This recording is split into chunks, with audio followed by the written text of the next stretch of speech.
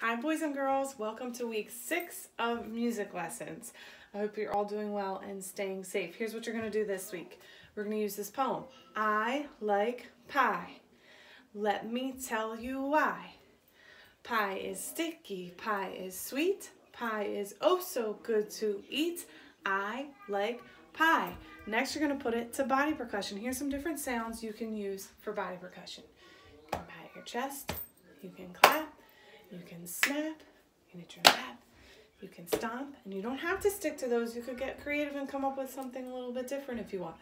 Um, but I'm to keep it simple and I'm just to stick with those for myself. The very first thing you're to do is pick one of those body percussions that you like to perform the whole poem using just one body percussion. So I'm to go with lap.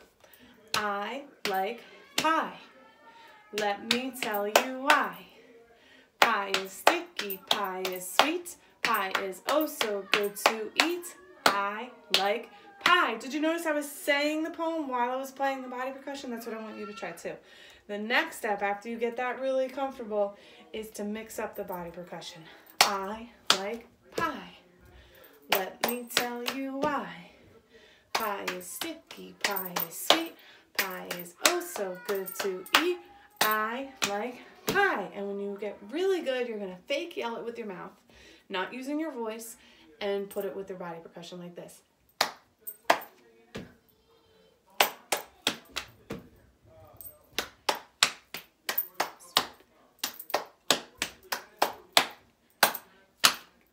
All right, good luck. Make sure you post your video in um, discussions week six. If you don't want to post the video, that's fine. I would write, I would like you then to type up your body percussion that you used, okay?